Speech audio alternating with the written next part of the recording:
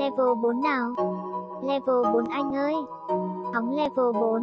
Ok, tập 4 đây. Nếu các bạn hỏi mình là nên tập trung học cái gì trước khi tham gia vào thị trường chứng khoán thì câu trả lời của mình luôn luôn sẽ là nến Nhật và thanh khoản. Nến Nhật thể hiện sự biến động giá và thanh khoản thể hiện cái nhu cầu mua bán của những nhà đầu tư. Tất cả dụng cụ chỉ báo, công cụ hỗ trợ hay là cái chiến thuật bạn ở trên mạng đều phụ thuộc vào giá và thanh khoản. Vậy thanh khoản là gì? Tại sao nó lại quan trọng đến như vậy? Cùng xem video nào. Chào các bạn, mình là Thành Công. Đây là cái series mà mình sẽ cung cấp những cái kiến thức cơ bản về phân tích kỹ thuật. Mình nhắc lại đây chỉ là những kiến thức cơ bản thôi nha. Sau cái series của mình nếu mà các bạn hứng thú với phân tích kỹ thuật thì các bạn hoàn toàn sẽ tự đào sâu và tìm hiểu thêm. Nhưng mà trước khi bắt đầu video mình xin trân trọng giới thiệu nhà tài trợ cho video ngày hôm nay đó chính là No no, no. nút like của YouTube còn cái này hả cái này là mình à, mình mua mình uống thử thôi xong rồi à, trong tương lai nếu mà có người nào muốn tài trợ cà phê cho mình thì à, mình sẽ À, mình sẽ là người đi review cà phê các bạn hiểu không? Giờ mình phải uống cà phê cái đã.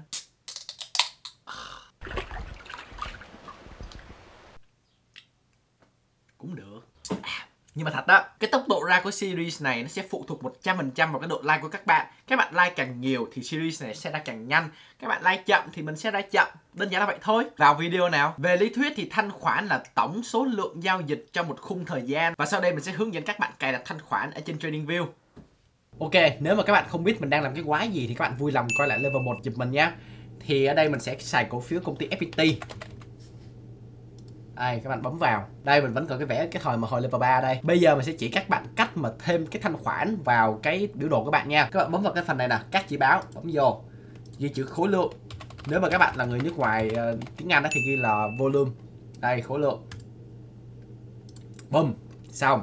Và đây là cách các bạn đọc các bạn nhìn thấy không trên đây là thấy thấy thấy góc trên trái màn hình không đó trên đây là chỉ khối lượng nè thì các bạn khi mà bấm những cái nến này thì trên góc trái nó sẽ là 3.624 million nghĩa là hiện tại khối lượng đó là 3,624 triệu cổ phiếu giao dịch vào ngày 1 tháng 4 năm 2021. Ok các bạn có thể kéo này ra. Thì các bạn có nhớ là cái phần level 1 mình á, mình có nói á, ở phần này nè, đây là khối lượng nè.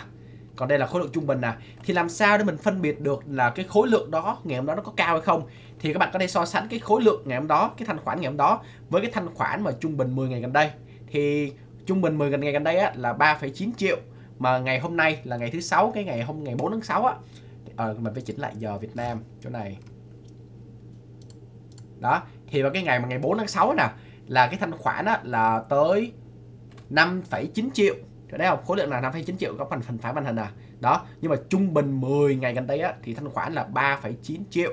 Coi như là ngày hôm thứ sáu vừa rồi thanh khoản khá là cao. Thanh khoản cao thể hiện một thị trường có nhiều người mua và nhiều người bán. Thanh khoản cao sẽ giúp cho việc mua bán diễn ra dễ dàng hơn tại vì đơn giản là cái độ chênh lệch giá mua và giá bán nó sẽ rất là nhỏ. Khi các bạn tham gia thị trường chứng khoán thì có hai thuật ngữ bạn cần phải biết đó chính là bid và ask. Thì bid đó chính là thể hiện lệnh mua có giá trị cao nhất trong khi đó lệnh ask là lệnh bán có giá trị thấp nhất ở thị trường và spread là giá trị chênh lệch giữa bid và ask. Để mình lấy một ví dụ cho dễ hiểu nha, thì mình sẽ xài thị trường Mỹ tại vì hiện tại thì thị trường Việt Nam đóng cửa mất tiêu rồi.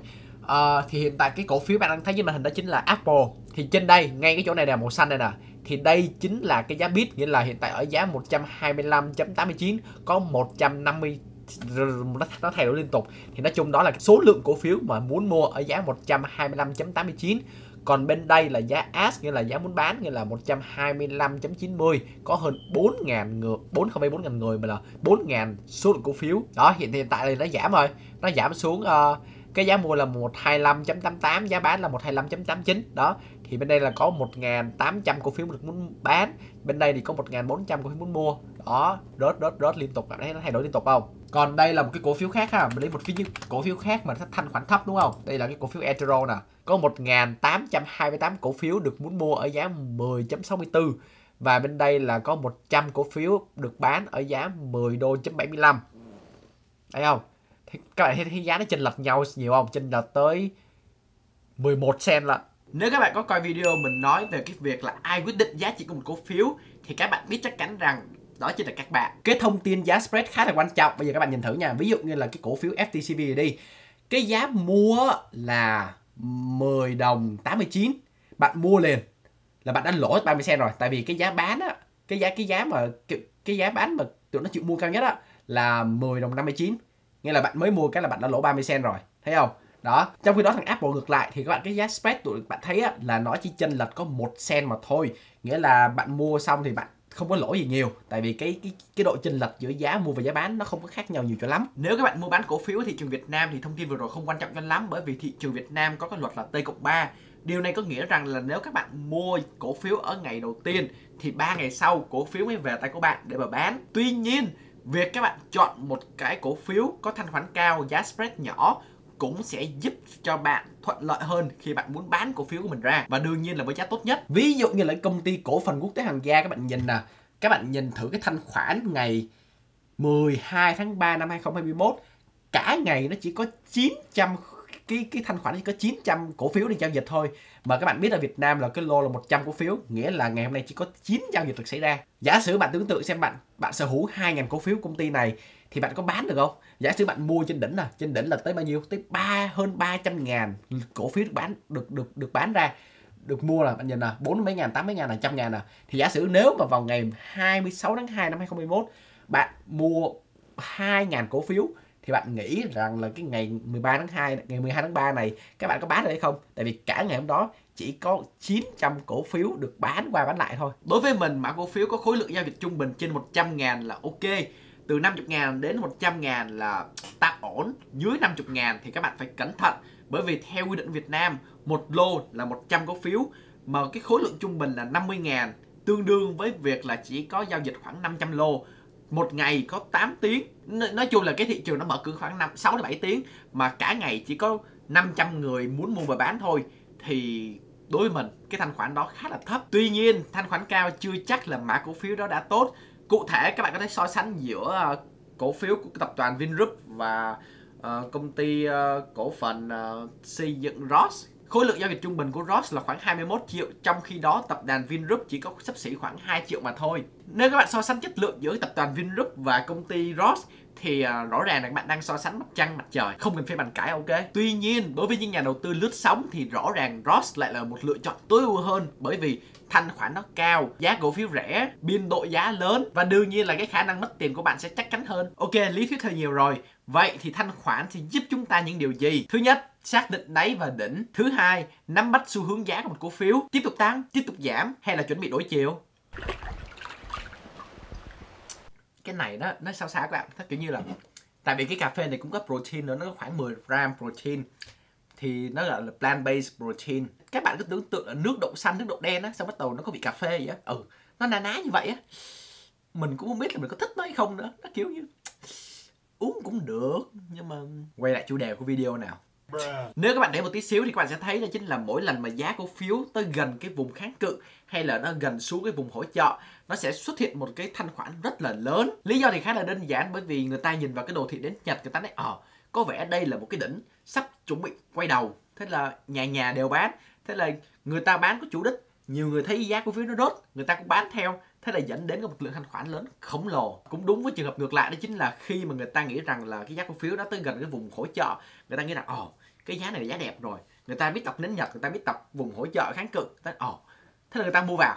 Thế là tất cả mọi người đều mua vào lúc đó dẫn đến cái việc thanh khoản nó một đống luôn. Ví dụ như cái cổ phiếu FPT nha bạn nhìn nha. Bạn thấy cái bạn nhìn cái khung bên dưới nào bạn thấy cái thanh khoản không? Tự nhiên có mấy cái thanh nó cao là cao không? Đây ví dụ như này đi. Thì đây có phải là cái đáy không? Đây phải là cái đáy không? Đó. Nè. Đây phải cái đáy không? Rồi lên đây nữa đây cao là cao nè. Đây là lên đỉnh nè. Lên đỉnh sau đó đốt xuống nè. Chạm đỉnh nè. Đây là đỉnh nè. Ngày hôm sau nó đốt xuống nè. À, đây cũng cao nè đó, tạo một cái đỉnh mới. Ở đây, tương tự cái này luôn, đỉnh mới. Cái này luôn. Đây, phóng cao lên, tạo cái đỉnh, rồi xong nó rớt xuống. Trước khi nó tạo tạo đỉnh tiếp theo.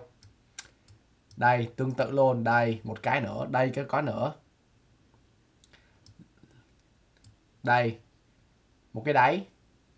Thấy không? Một cái đáy, thấy không? Để nắm bắt xu hướng giá của một cổ phiếu thì có một cái công thức khá là đơn giản dành cho những bạn mới tham gia thị trường chứng khoán. Đó chính là khi mà giá cổ phiếu nó tăng, thanh khoản tăng thì khả năng cao là giá chỉ tiếp tục tăng. Nhưng nếu mà giá cổ phiếu nó tăng, thanh khoản nó giảm thì khả năng cao là chuẩn bị đổi chiều. Trường hợp ngược lại, đó chính là giá cổ phiếu nó đang giảm, thanh khoản nó tăng thì khả năng cao là giá cổ phiếu sẽ tiếp tục giảm. Và nếu mà giá cổ phiếu đang giảm, thanh khoản cũng giảm theo thì khả năng cao là chuẩn bị có quay đầu và giá cổ phiếu sẽ tiếp tục tăng. Ok, để mình xóa hết tất cả mấy cái này nha. Ok, thì bạn nhìn thấy cái xu hướng nào nó đang tăng nè, bạn thấy không? Đây, cái volume mà tăng từ từ lên, từ từ từ từ nè, thấy không? Bạn thấy nó nó tăng lên không? Đó, thì cái cổ phiếu cũng tương tự, đó chính là nó cũng tăng lên theo luôn. Đây, cũng tương tự luôn. Đó đó là khi mà cái cái cái cái cái thanh khoản nó tăng thì mà giá nó đang tăng thì khả năng cao là trong thời gian nó sẽ tiếp tục tăng đó là cái xu hướng tăng. Ok để mình đổi tên cổ phiếu nha. Tại vì cái công ty FPT này đang có xu hướng tăng. Mình rất là khó để mà kiếm cái đoạn mà uh, giá cổ phiếu đang giảm mà thanh khoản tăng. Nó hơi khó cho nên mình sẽ đổi qua một cái con đang giảm gần đây đó chính là Vinamilk. Ok mã Vinamilk là VN. Vào đây. Thấy không? Đây. Giá cổ phiếu đang giảm là đúng không? Thảm thảm sấp mặt luôn này thấy không? Còn đây là cái thanh khoản ở dưới đây. Nó vẫn đang vẫn đang tăng. Nó ngày càng tăng nghĩa là nó vẫn chưa có dấu hiệu dừng lại ok thì nói chung là đây là dựa vào các bạn thấy cái mối liên hệ là giá cổ phiếu đang giảm và cái thanh khoản vẫn tiếp tục tăng. Nó vẫn chưa có dấu hiệu dừng lại. Đây một cái trường hợp gần hơn để bạn nhìn nè thấy không? Đây trường hợp cái cái cái cái khung này nhanh ngắn hơn nè. Thấy nó rớt không? Đó trong khi cái thằng cái thằng thanh khoản là tiếp tục tăng nè tăng liên tục luôn nè. Đó nó đâu, đâu, đâu nó đâu có dấu hiệu dừng lại đâu. Ok tiếp một trường hợp nữa nha. Đó chính là đây bạn thấy không? Đây là giá cổ phiếu đang tăng nè. Thấy không? Từ ngày 29 tháng 1 cho đến ngày à, uh, 8 tháng 2 đã đang, đang tăng đúng không? Nhưng các bạn nhìn thanh khoản nè thanh khoản đang có chiều đi xuống nó giảm dần. Điều này nghĩa là sao? Nghĩa là ok đồng ý là giá đang tăng cao nhưng mà cái số lượng người mua nó đang từ từ ít lại ít lại ít lại lên tới đây là ít người ít lắm rồi lên tới đây nè. Lên tới cái giá ngày hôm nay nè lên tới giá ngày 5 tháng 2 nè. Có tí xíu người mua nghĩa là nó tí, tí xíu người mua. Nó kiểu đắt quá rồi. Thế là rốt tiếp. Nó đổi chiều đó đây là một cái ví dụ cho bạn thấy cho nên khi nếu các bạn thấy bằng giá cổ phiếu nó tăng nhanh tăng nhanh nhưng mà cần nhìn thanh khoản, xem có người mua nó có nhiều hay không, hay là càng ngày càng ít người mua, thì đó thể hiện là cái sự cung nó nhiều nhưng mà cái nhu cầu nó ít, đó thì sẽ đổi chiều, vậy thôi. Và đương nhiên là cũng đúng với trường hợp ngược lại đó chính là các bạn nhìn nè, đây, cái chỗ này đây, giá cổ phiếu đang giảm đúng không? Nó giảm liên tục nè. Nhưng mà các bạn nhìn là thanh khoản rồi, nó cũng giảm theo, thấy không? Thanh khoản là nó đang giảm từ từ nè, tới ngày này nè, đó, nghĩa là ít người bán đi rồi, nghĩa là tới cái giá đó người ta này thôi thôi nó nó rẻ quá tao muốn tao muốn bán nữa nó rẻ quá tao phải mua mua. Đó. Bùm. Lên lại. Lên ngược lại. Nhưng mà nhìn kỹ lại thì tiếp tục rớt thôi. Nè xuống nó vẫn cái xuống rớt nè thấy không? Nó vẫn càng lòn nè. Xong rồi cái cái cái volume nè ngày càng tăng nè. Đó nghĩa là tiếp tục rớt vẫn tiếp tục rớt tiếp tục rớt tiếp tục rớt. Xong rồi tới đây á, thì volume tăng cao tới đây thì thanh khoản tăng cao nhưng mà cái cổ phiếu thì nó cũng nó vẫn đang giảm nhưng mà cái giá người bán ít rồi thì tiếp tục tăng. Cho nên nếu mình nhìn lại đây nha nếu mình nhìn đây phân tích kỹ thuật nè thì đây đang có dấu hiệu giảm. Thì chờ cái cái cái volume là vẫn đang tăng là cái thanh khoản vẫn đang tăng lên nè. Đó thì khả năng cao là Vinamilk tới tuần sau nó vẫn rớt tiếp. Thật sự là như vậy. Mình nghĩ vào dựa vào cái cái xu hướng giá này nó sẽ tiếp tục giảm nữa. À, nhìn vào cái nến các bạn nhìn vào cái nến nè thì cái đây là cái nến mà cái nến này gì? À, engulfing candle á. Cái gì? Hồi ở level 2 mình dịch lấy gì cũng tiêu rồi. Nhưng mà bạn thấy không? Cái cây nến xanh nè nhưng mà cái cây nến đỏ nó to hơn cái nến xanh nè rồi xong. Mình nghĩ khả năng cao là thứ hai nó rớt tiếp. Thì quay về FPT nè, các bạn nhìn nè. Xuống giảm cũng tương tự luôn. Đây nó đang giảm. Cái volume cái người bán cũng đang tăng dần. Nghĩa là thanh khoản đang tăng dần. Nghĩa là cũng khả năng cao. Thứ hai, thị trường nó hơi hơi kiểu như là nó hơi nóng rồi đó. Nghĩa là giá FPT hiện tại đang khá là cao. Đối với phân tích kỹ thuật người ta thấy hơi cao đó. Cho nên khả năng cao là thứ hai cái kịch bản ngày thứ hai nó sẽ là rớt xuống tiếp. Còn sau đó nó đi lên hay không tùy. Tại vì ở đây nè bạn nhìn nè. Ở đây có một có một cái uh, vùng kháng cự khá là ok. Đây ở đây là cái vùng kháng cự nè. Thì nếu mà cái giá FPT mà nó rớt xuống đây được thì mình nghĩ nó sẽ bật lại ở giá 81 ngàn. Còn nếu mà nó đục thủng thì nó xuống vùng kháng cự thứ hai ở đấy vùng kháng cự thứ hai ở đây nhưng mà mình nghĩ khả năng cao là xuống đây nó lại bật lên tí còn thời gian tới thì mình phải kiểm tra hàng ngày mới biết được ok Tuy nhiên chắc chắn sẽ có những bạn nói như thế này Ủa anh ơi, tại sao ngày 6 tháng 1 năm 2021 cái thanh khoản nó đỏ lè nó cao như vậy mà nó lại tiếp tục nó lại tăng như vậy?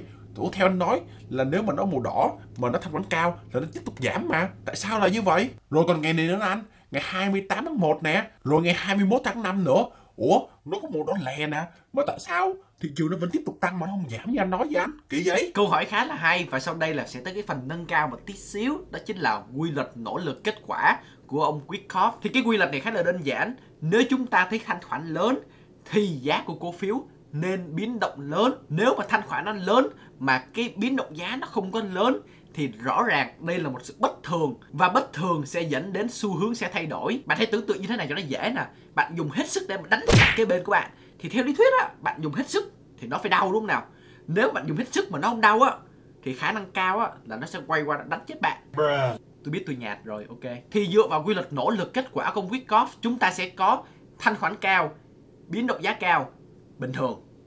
Thanh khoản cao, biến động giá nhỏ, bất thường thanh khoản nhỏ, biến động nhỏ, bình thường. Thanh khoản nhỏ, biến động cao, bất thường. Các bạn thấy không? Cái thanh khoản lớn nhưng đáng lẽ theo lý thuyết á, thì thanh khoản lớn nó phải biến động giá mạnh đúng không? Nhưng không, nó chỉ biến, nó biến cái kinh đế là tí xíu à. Nó biến động giá nhẹ, nghĩa là sao? Nghĩa là nó sai với quy luật, nghĩa là sẽ đi lên chứ không không đi xuống. Đó, thì đây là một cái việc bất thường mà thôi. Nè trường hợp thứ hai là bạn nhìn thấy không? Tuy là hai cái nến này là thanh khoản rất là nhỏ, thanh khoản nó chỉ khoảng 3 triệu à với 2 triệu 6 à mà nó rất là to trong khi đó, cái thanh nến này tới bao nhiêu? 12 triệu 12 triệu mà nó ngắn ngủ nè. Đảo chịu. Tương tự với thằng này, các bạn nhìn thấy không? Ba cái nến xanh tăng liên tục nè. Là bao nhiêu? 2 triệu 6 3 triệu 3 4 triệu 7 lên tới đây, tới 8 gần 8 triệu 8 triệu bán cổ phiếu bán ra. Như bạn nhìn cái cây nến nè, nó ngắn ngủ nè. Hôm sau, tiếp tục hôm sau các bạn thấy không? Nó vẫn giảm, nhưng mà cái thanh khoản nó cũng giảm theo. Nghĩa là sao? Nghĩa là đúng với trường hợp trên, đó chính là giá có phải đang giảm, nhưng mà thanh khoản cũng giảm theo, dẫn đến nó đổi chiều. Đó, vậy thôi, đơn giản như vậy thôi. Và đó chính là lý do giải thích tại sao lại có những cái hình dạng trên nến nó thú vị như vậy. Nếu các bạn là những trader theo trường phái phân tích kỹ thuật, thì cái việc đọc được thanh khoản là một cái việc nó cực kỳ cực kỳ quan trọng. Và mình nói thật thì thanh khoản các bạn càng học, các bạn sẽ càng thấy sự thú vị ở nằm đằng sau cái thanh khoản.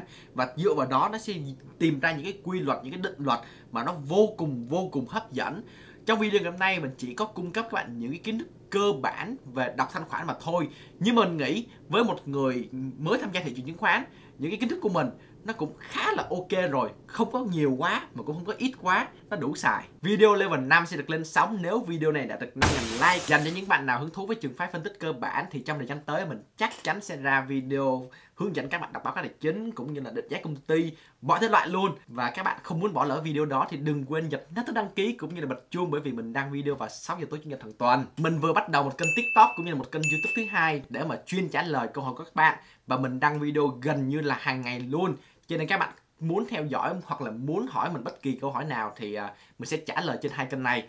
À, video hôm nay chỉ có như vậy mà thôi. Bye bye. TC mình cảm ơn các bạn đã coi những phút này của video. Và nếu mà các bạn muốn học lại từ level 1 của mình Thì đây là cái danh sách mình nói về nó. Trong đây mình cung cấp những cái kiến thức cơ bản về thị trường chứng khoán. Mọi thứ bạn cần phải biết. Còn à, đây là quỹ đầu tư, quỹ mở. Còn đây là một cái sàn giao dịch mà các bạn có thể dùng để mà mua bán cổ phiếu nước ngoài. Và đừng quên đăng ký!